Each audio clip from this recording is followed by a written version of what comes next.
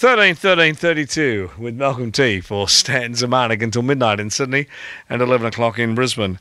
We've had some very sad news uh, passed on to us tonight. Um, one of our audio producers, panel operators extraordinaire, Adrian, who uh, was responsible for our New Year's Eve program, working at this particular end of the uh, of the shift and playing all the records, has had a, a rather sad end to his Christmas.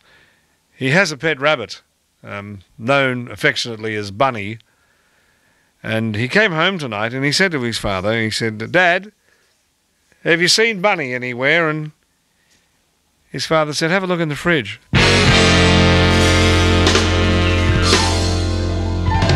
And uh, Adrian, you have uh, our, our deepest sympathy uh, in this moment of, tri- of, of trauma for, for yourself, and uh, we'll uh, we'll do something to make it up for you tomorrow when you come in. Uh, either Greg or, or myself or Stephanie will will take you out to one of the nearby restaurants that serves rabbit stew. Oh,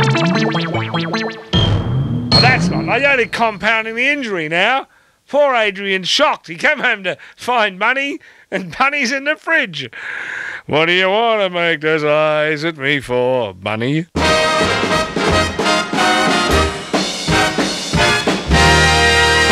It's not funny. It's very serious. That's how I lost Goosey. Yes, poor old Goosey got his head chopped off too, or Daffy Duck or whatever I called him, and ended up in the fridge. Not a nice way to go, is it? Adrian, we, we really do feel sorry for you and, and Bunny, but there's not much we can do about it now. Let by burrows be by burrows. All right, where is Kathy? She's here and she's in Brisbane. Hi, Kathy. Hi, Malcolm. How are you? Oh, I'm all right, a bit devastated about the rabbit. Oh, that's terrible. It is, terrible. And Greg in the newsroom, uh, when I started talking about it, he nearly fell out of the studio. He thought something dreadful had happened to poor old Adrian, but it had. It was an emotional wrench for Adrian to come home tonight and find the rabbit in the fridge. Well, I thought you was going to say something happened to Adrian. Then you come out about his bunny. His bunny's gone. Oh, poor. I'll never eat rabbit again now. Turned me off it. Turned me off it too. I think he, I think Dad might have given give, given the rabbit the shove in case he got the disease coming in from South Australia.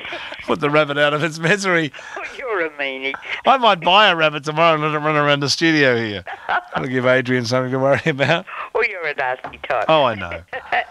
Well, what I rang for, to praise our Minister for Housing, he is very, very good. We've got a little retirement village here. Uh, he's just put us into six brand new units. Uh-huh.